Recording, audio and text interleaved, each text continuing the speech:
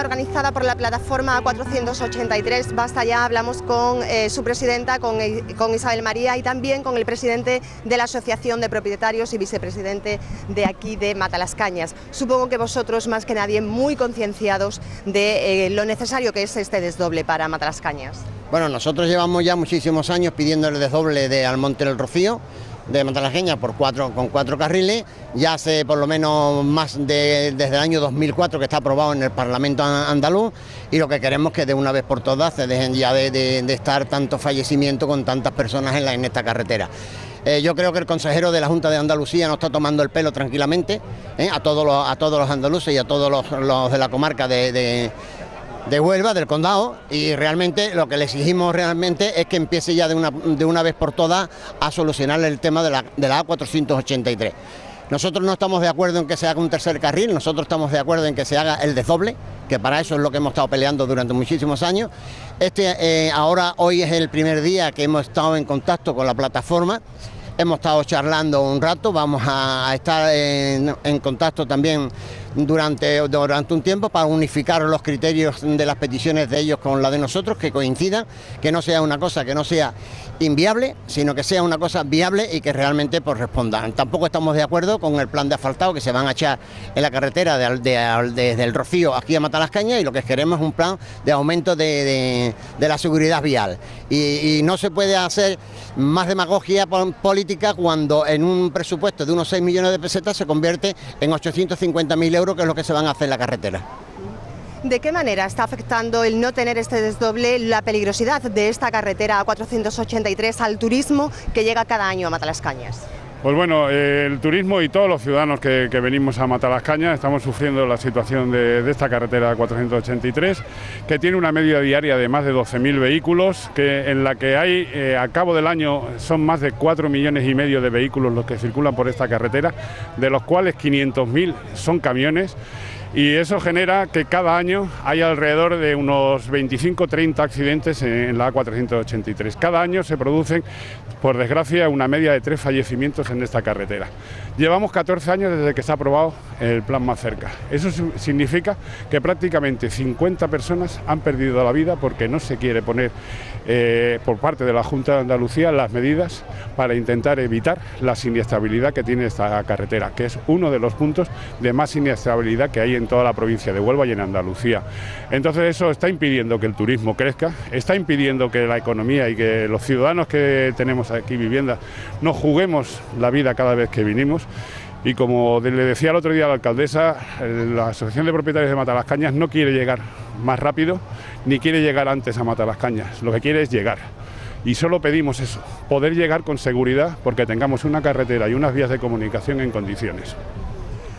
Una vez de que salisteis de esa reunión con la alcaldesa a la que la plataforma 483 eh, no estuvo invitada, según nos han comentado ya miembros de, esta plataforma, ¿cuál fue la, sensación? Eh, ¿Hubo algún tipo de compromiso por parte de la alcaldesa de Almonte? Eso te va a contestar Miguel, que estuvo en la reunión, porque yo no estuve. Perfecto. Bueno, pues por parte de la alcaldesa se planteó lo mismo que está planteando el PSOE de Huelva, que es eh, iniciar un estudio. Creemos que ya hemos estudiado mucho la problemática de la 483 está muy clara.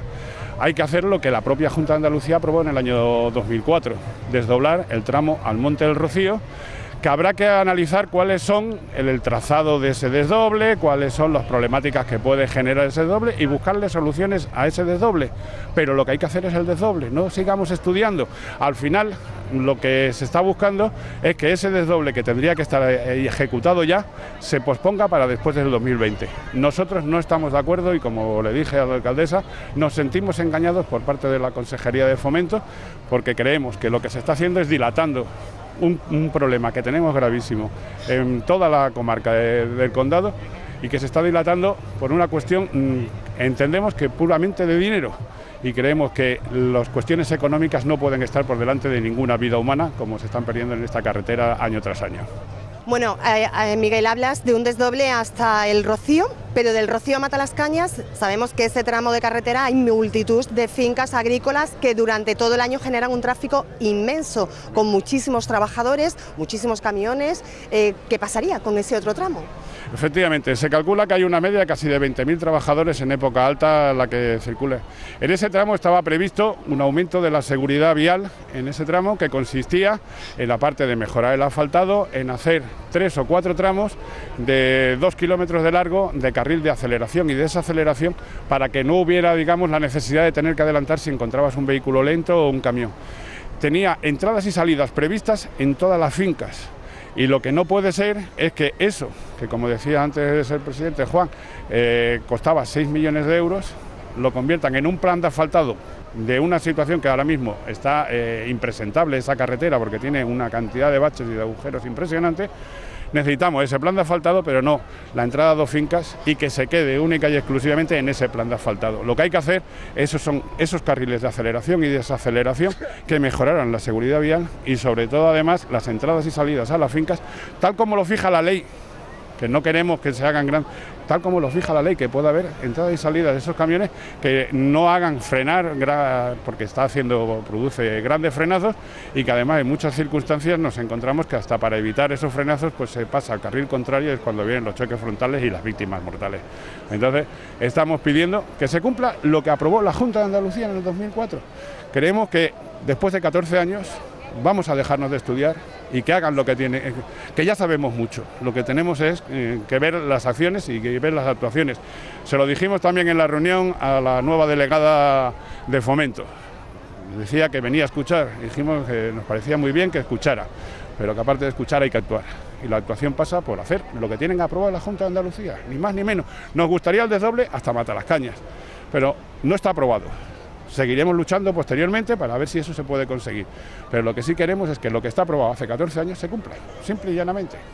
Paso está aprobado en el, plan más cerca, en el pista, y que realmente no debe de haber ningún problema, ni más estudios ninguno cuando está en el proyecto que hay, que hay hecho por la Junta de Andalucía y aprobado por el Parlamento, pues realmente hasta el, cruce de, las dos veces que cruza la Virgen en la ida y la venida desde, desde Almonte hasta, hasta el Rocío.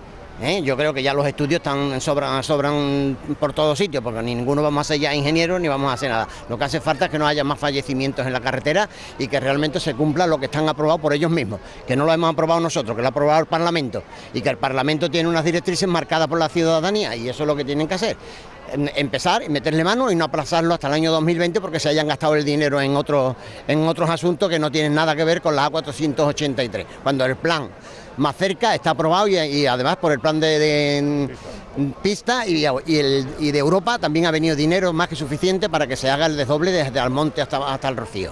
Y yo creo que ya, que ya, que ya está bien. La primera conversación que hemos tenido con ella, como te he dicho, te he dicho antes, eh, parece que tenemos eh, un 90 y tantos por ciento de, del mismo objetivo, del desdoble desde Almonte hasta el Rocío, con las mm, calle, como ha dicho Miguel, de servicio, las, vías de servicio, que hay sesenta y tantas vías, mm, pasos a, la, finca desde, desde el monte hasta Matalascaña, hay sesenta y tantos, pues se haga una vía de servicio y que se accedan por la vía de servicio como en, todos los sitios. Si nosotros nos vamos ahora mismo a la entrada de Boyullo, a la salida de Boyullo, tiene sus, sus entradas cuando se hizo el trozo hasta el monte. ¿Eh? el doble, porque yo cuando voy para allá, tú tienes tu salida por la vía de servicio que tú entras en Boyullo y, sigue por la parte de atrás, que también hay otra vía de servicio paralela a la A49 y que realmente entras en Boyullo sin obstaculizar nada. Y se ha hecho, y eso se debe de hacer porque primero, no se toca el, Parque Nacional, no se toca el preparque ni el Parque Natural. Ahí no se toca absolutamente nada. Lo único que se toca es el dinero que dónde está metido.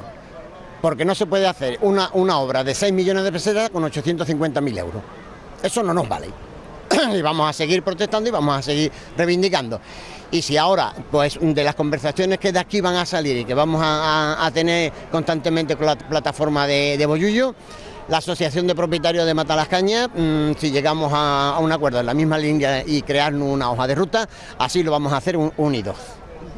Es una buena noticia, sin duda, Isabel, el encontrar eh, puntos en común con otras eh, plataformas, otras asociaciones que llevan ya también muchísimos años luchando por, por, un fin común, ¿no?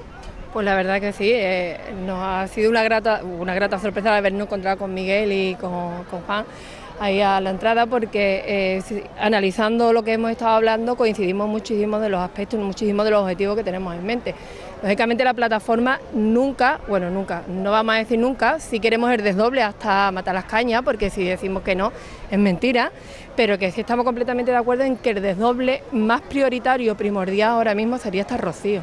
Bien, como ha dicho Juan, hay después muchas vías, muchas vías las que se puede uno acoger para entrar en una finca. Tenemos, como él también ha explicado, las áreas de servicio que tenemos pues yo, más, más cerca y más, más visible ahora mismo es imposible. Ese desdoble en su momento también costó, costó por otros motivos, al final se hizo y todo el mundo entra en su finca, todo el mundo entra donde tiene que entrar. ¿Y qué es lo que hemos ganado? Pues hemos ganado muchísima más seguridad, todos los conductores, y muchísima más tranquilidad a la hora de podernos desplazar de un sitio a otro. ¿Qué es lo que queremos? Pues lo mismo, lo mismo desde Almonte hasta el Rocío, que este desde el Rocío hasta Matalascaña, como ha dicho Miguel, se abra esos carriles de aceleración, de esa aceleración para que no entorpezcamos ninguno a otro y que en sucesivo se pueda hacer otra autovía ahí, pues por supuesto que sí, pero en principio estamos totalmente de acuerdo con ello. Y por nuestra parte vamos a tener muchas reuniones, muchísimas. Eh, Juan ha dicho también que, que el tema económico, bueno, el tema económico, la plataforma ha tenido una reunión con el delegado. Y yo por activa por pasiva le pregunté pues como unas 25 veces, porque además me considero muy pesada, muy machacona, que si el problema era el, económico, que si era el tema del parque, el tema del lince, y me dijo que ninguno de los aspectos era ese. Entonces le pregunté que cuál era el, tema y me dijo que en esos momentos no me lo podía contestar, pero que uno de ellos estaba en, en Almonte. Yo no voy a decir tampoco lo que yo creo que pueda hacer, pero también Juan ha dejado algo dicho ahí y todo se puede hacer. Eh, cada siete años se hacen unos cruces, que yo participo de ellos, y se puede hacer perfectamente con un desdoble ahí también. Por lo cual seguiremos luchando hasta, bueno, acabamos de empezar, pero seguiremos luchando hasta que nuestra, nuestra fuerza desfallezca y vengan otros a reemplazarnos. Sin duda el camino es largo, no es fácil y hace falta eh, mucho tesón ¿no? para llegar a conseguir. El empuje sin duda lo dan los familiares de, los fallecidos y de los eh, accidentados eh, ahí cuando nos ha tocado tan cerca en Bollullos, pero no podemos olvidar de que son miles de personas las que todos los días ponen su vida en peligro, como hemos repetido ya muchas veces, y hoy han sido ellos, mañana pueden ser cualquiera de los otros.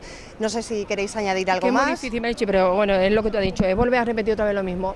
Tú sabes que desde que empezamos volvemos a decir de que hay, como ha dicho Miguel, es que esta carretera soporta un tráfico de al menos 12.000 vehículos diarios que cuando estamos en épocas de recogida de frutos rojos, eso es un abismo. Es que hay muchísimas, muchísimas familias que corren peligro ahí, porque ahí viene el padre, ahí viene la madre, ahí viene el hijo mayor que ya tiene edad para trabajar, que ahí hay un golpe como el que hemos sufrido últimamente y es que la familia se queda completamente rota, rota entera por completo, porque ahora también está rota, pero ha sido un familiar que se ha ido, pero es que se puede romper la familia completa. Y es que no, es que no es justo, no es justo que antepongamos tantas cosas a una vida humana no es justo. Y como bien ha dicho también Juan, es que ya estamos cansados de tantos estudios, que ya todo el mundo hemos pasado de la época escolar y que ya los arquitectos que tenían que estudiar han estudiado para hacer eso, que los técnicos han estudiado y están ahí, que ya el estudio está aprobado y hecho, que qué es lo que tenemos que, intentar conseguir, que esto se haga ya, ¿no? Que se haga, pero ya, ya, que no dejemos más tiempo de que el año, el 2020, el 2019, el 2021, el 2030, 2030, que no. Vamos a dejar ya, como decimos en el eslogan, basta ya no más muerte, que ya bastante han habido. Eh, Juan Miguel. Bueno, yo lo que quería decirle al consejero y a la delegada de fomento que acaba de llegar es que se mire por la Dirección General de la DGT los fallecidos que hay en los últimos 15 años, que son alrededor de 400 fallecidos en esta carretera, en la A483, y más de 700 accidentes ¿eh? con personas graves y menos graves, que son los que ha habido en esos últimos 15 años. ¿Cuánto hace falta que fallezcan más para que empiecen lo que es el desdoble de Almonte hasta el Rocío. Simplemente nada más que eso, que lo piensen y que lo miren. Que la DGT, como yo, los tengo. La DGT también los tiene por si los quieren saber ellos mismos. La misma el consejero, ¿eh? ellos también lo tienen. Ellos también lo tienen, pero bueno, por si no lo ha visto. ¿eh? Como el que viene a ver la carretera, se lo recordamos. Como el que viene a ver la carretera que no sabe por dónde empieza a matar las cañas a salir de la carretera 483, ¿no? Como ha dicho antes Isabel en una conversación que hemos tenido, perdona que te la de eso, porque realmente es, eh, eh, inconcebible que una persona que está hablando de la A483 no las conozca ni sepa las salidas ni de eso que tiene. ¿eh? Para ser un alto, un, un alto mm, cargo de la Junta de Andalucía de Fomento o de la Consejería de, Fomento o de la Delegación de Fomento, yo creo que debe de conocer lo que es el territorio de toda la parte del condado de, de Huelva y saber dónde están los puntos negros, que lo tiene la DGT, vamos, que lo apunta muy bien.